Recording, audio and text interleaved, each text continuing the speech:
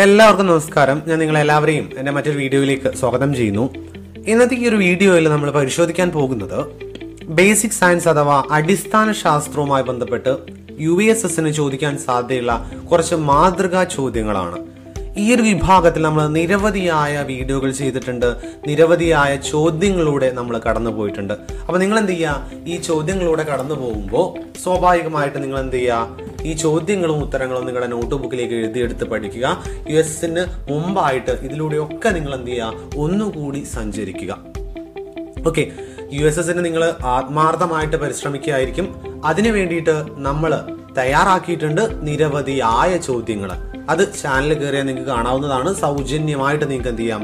പ്ലേലിസ്റ്റിൽ കയറിയാൽ ആ വീഡിയോകളൊക്കെ കാണാൻ സാധിക്കും. ഈ ഒരു വീഡിയോകൾ നിങ്ങൾക്ക് പരിപൂർണമായിട്ടും സഹായകരമാകട്ടെ എന്ന് മാത്രം ആശംസിച്ചുകൊണ്ട് നമ്മൾ നേരെ ഇന്നത്തെ വീഡിയോയിലേക്ക് പോകുന്നു.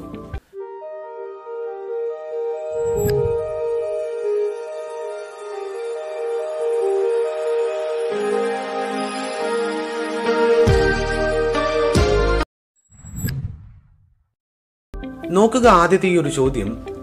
വാതകം എല്ലാ ഭാഗത്തേക്കും മർദ്ദം ഒരുപോലെ പ്രയോഗിക്കുന്ന എന്നുള്ള സന്ദർഭം ഏതാണ്? നാല് സന്ദർഭങ്ങൾ നൽകിയിട്ടുണ്ട്. ഇവിടെ വാതകം എല്ലാ ഭാഗത്തേക്കും ഒരേപോലെ മർദ്ദം പ്രയോഗിക്കുന്നു എന്ന് പറയുന്ന സന്ദർഭം ഏത്? ഒന്ന് എ സ്ട്രോ ഉപയോഗിച്ച് ജലം കുടിക്കുന്നു ദെൻ ബലൂൺ ഊതി വീർപ്പിക്കുന്നു നീരാവി ഉയരുന്നു കാറ്റടിക്കുന്നു. ഏതാണ്? നമുക്ക് എളുപ്പത്തിൽ മനസ്സിലാവുന്ന ഒരു ചോദ്യം തന്നെയാണ്. ബലൂൺ ഊതി വീർപ്പിക്കുന്നു. അല്ലെ ബലൂൺ ഊതി വീർപ്പിക്കുമ്പോൾ എന്ത് ചെയ്യും? ഈ ഒരു വാതകം എല്ലാ ഭാഗത്തേക്കും ഒരേപോലെയാണ് മർദ്ദം പ്രയോഗിക്കുന്നത്. ദെൻ അടുത്ത ചോദ്യം നമ്മൾ ചിലപ്പോൾ പരീക്ഷണങ്ങളൊക്കെ ചെയ്തു നോക്കിയിട്ടുണ്ടായിരിക്കും ഇതുമായി ബന്ധപ്പെട്ട്.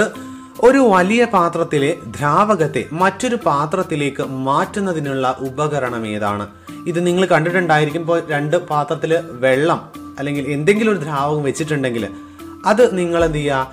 ഈ ഒരു ഉപകരണം അതിൽ രണ്ടിലേക്കും വെച്ചിട്ടുണ്ടെങ്കിൽ ഒരു പാത്രത്തിൽ നിന്നും മറ്റൊരു പാത്രത്തിലേക്ക് വെള്ളം അല്ലെങ്കിൽ ഇത്തരം ദ്രാവകം പോകുന്നത് നിങ്ങൾക്ക് കാണാൻ സാധിക്കും. ഏതാണ് ഉപകരണം? ഉപകരണങ്ങൾ നൽകിയിട്ടുണ്ട്. നോക്കുക. സൈഫൺ ബാരോമീറ്റർ സിറിഞ്ച് ഇവയൊന്നുമല്ല. ഏതാണ്?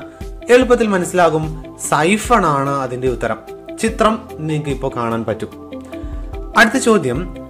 വശത്ത് ദ്വാരമുള്ള സ്ട്രോ ഉപയോഗിച്ച് ദ്രാവകം വലിച്ചു കുടിക്കാൻ കഴിയുന്നില്ല. കാരണം എന്താണ്?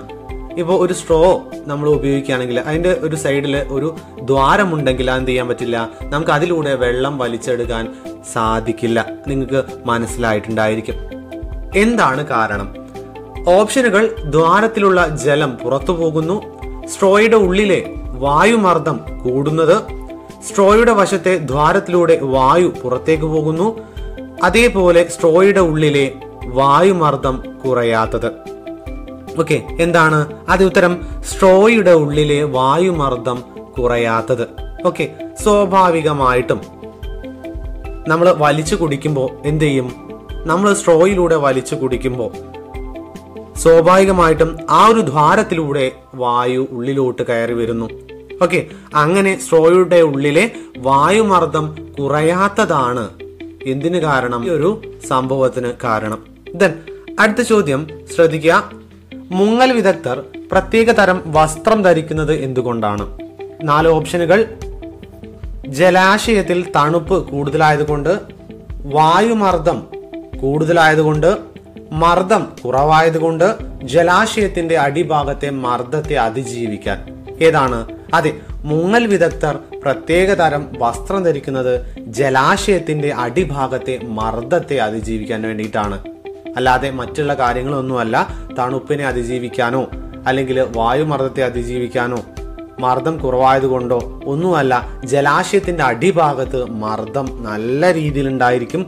ഈ ഒരു മർദ്ദത്തെ അതിജീവിക്കാൻ വേണ്ടിയിട്ടാണ് മുങ്ങൽ വിദഗ്ധർ പ്രത്യേകതരം വസ്ത്രം ധരിക്കുന്നത്. ദെൻ ശ്വസന വ്യവസ്ഥ നമ്മൾ പഠിച്ചിട്ടുണ്ട്. ഇവിടെ ശ്വസന വ്യവസ്ഥയിൽ ഉൾപ്പെടാത്ത അവയവം ഏതാണ്? ശ്വാസനാളം ശ്വസനി കരൾ നാസാരന്ധ്രം. എളുപ്പമാണ് അല്ലെ? എന്താണ്? മറ്റുള്ളവ നോക്കുക. ശ്വാസ ഘോഷവുമായി ബന്ധപ്പെട്ട് ലങ്സുമായി ബന്ധപ്പെട്ട് ശ്വസന വ്യവസ്ഥയുമായി ബന്ധപ്പെട്ട്. ഓക്കെ. ശ്വാസനോളം ശ്വസനി അതേപോലെ നാസാരന്ധ്രം എന്താണ്? ഇതൊക്കെ ശ്വസന വ്യവസ്ഥയുമായി ബന്ധപ്പെട്ട ഉൾപ്പെട്ട അവയവങ്ങളാണ് കരളാണ് ഇതിൽ ഉൾപ്പെടാത്തത്. ദെൻ അടുത്ത ചോദ്യം. നോക്കുക ഒരു ചോദ്യം നൽകിയിട്ടുണ്ട്. ഔരസാശയത്തെയും ഉദരാശയത്തെയും വേർതിരിക്കുന്ന മാംസപേശികളുടെ പാളി ഏതാണ്? നമുക്കിപ്പോൾ ഇവിടെ റിബ്സിന്റെ താഴെയായിട്ട് നിങ്ങൾക്കത് കാണാൻ പറ്റില്ല പക്ഷെ അവിടെയാണ് ആ ഒരു പാളി ഉള്ളത്. ഏതാണ് പാളി എന്നാണ് ചോദിച്ചിട്ടുള്ളത്. പെരികാർഡിയം കോശസ്തരം ഡയഫ്രം പ്ലൂറ ഓക്കെ ഇതൊക്കെ നമ്മൾ പഠിച്ചിട്ടുണ്ട്. എന്താണ് പെരിക്കാർഡിയം എന്ന് പഠിച്ചിട്ടുണ്ട്? കോശസ്തരം എന്താണെന്ന് പഠിച്ചിട്ടുണ്ട്. അല്ലേ? അതേപോലെ പ്ലൂറ എന്താണെന്ന് പഠിച്ചിട്ടുണ്ട്. ഡയഫ്രം എന്താണെന്ന് പഠിച്ചിട്ടുണ്ട്. അല്ലേ? ഇവിടെ ഏതാണ് ഉത്തരം? അതെ ഡയഫ്രമാണ് ഡയഫ്രമാണ് ഇതിന്റെ ഉത്തരം. ഇതാണ് ആ ഒരു മാംസപേശികളുടെ പാളി. ദെൻ മണ്ണിരയുടെ ശ്വസന അവയവം ഏതാണ്? ത്വക്ക് ശ്വാസകോശം ചെകിളപ്പൂക്കൾ കോശസ്തരം. ഏതാണ്? തൊക്കാണ് മണ്ണിരയുടെ ശ്വസനാവയവം. ദെൻ അടുത്തതും ശ്വാസകോശവുമായി ബന്ധപ്പെട്ടാണ്. ശ്വാസകോശവുമായി ബന്ധപ്പെട്ട പ്രസ്താവനകളിൽ ശരിയല്ലാത്തത് ഏതാണ്? നാല് ഓപ്ഷനുകൾ. മാംസപേശികളുടെ പാളിയാണ്. വാരിയലിൻ കൂടിനുള്ളിൽ സ്ഥിതി ചെയ്യുന്നു. സ്വയം സങ്കോചിക്കാനും വികസിക്കാനും കഴിയും. സ്പോഞ്ച് പോലെ മൃദുവാണ്. ഏതാണ്? എളുപ്പത്തിൽ നമുക്ക് മനസ്സിലാവും. ശ്വാസകോശം മാംസപേശികളുടെ പാളിയല്ല. ഓക്കെ അത് വാരിയലിന്റെ കൂട്ടിലാണ് സ്ഥിതി ചെയ്യുന്നത്. അല്ലേ? അതിന് നമ്മൾ ശ്വസിക്കുമ്പോഴും അതേപോലെ നിശ്വസിക്കുമ്പോഴും എന്ത് ചെയ്യുന്നു? സങ്കോചിക്കാനും വികസിക്കാനും കഴിയും. അത് സ്പോഞ്ച് പോലെ മൃദുവാണ്. അപ്പം ശരിയല്ലാത്ത പ്രസ്താവന മാംസപേശികളുടെ പാളിയാണ് ശ്വാസകോശം. അടുത്ത ചോദ്യം ശ്രദ്ധിക്കുക. സസ്യങ്ങളിലെ വാതക വിനിമയം നടക്കുന്നത് ഏതിലൂടെയാണ്? കാണ്ഡം വേര് ആസ്യരന്ധ്രം കാവൽ കോശങ്ങൾ ഏതാണ് ആദ്യ ഉത്തരം ആസ്യരന്ധ്രത്തിൽ കൂടിയാണ് സസ്യങ്ങളിലെ വാതക വിനിമയം നടക്കുന്നത്. ദെൻ ഹീമോഗ്ലോബിൻ നമ്മൾ പഠിച്ചിട്ടുണ്ട്. ബ്ലഡിലെ പ്രധാനപ്പെട്ട ഒരു ഘടകമാണ്. ഓക്സിജനുമായി ബന്ധപ്പെട്ട് നമ്മൾ കൃത്യമായിട്ട് പഠിച്ചിട്ടുണ്ട്. അല്ലേ? ഹീമോഗ്ലോബിന്റെ ഘടകങ്ങൾ ഏതെല്ലാമാണ്? Iron carbohydrate iron protein iron മാംസ്യം ഇവയൊന്നുമല്ല. ഏതാണ്? അയണും അതായത് ഇരുമ്പും പ്രോട്ടീനുമാണ് ഹീമോഗ്ലോബിന്റെ ഘടകങ്ങളിൽ പ്രധാനപ്പെട്ടവ അല്ലെങ്കിൽ ഹീമോഗ്ലോബിന്റെ ഘടകങ്ങളാണ് അയണും പ്രോട്ടീനും.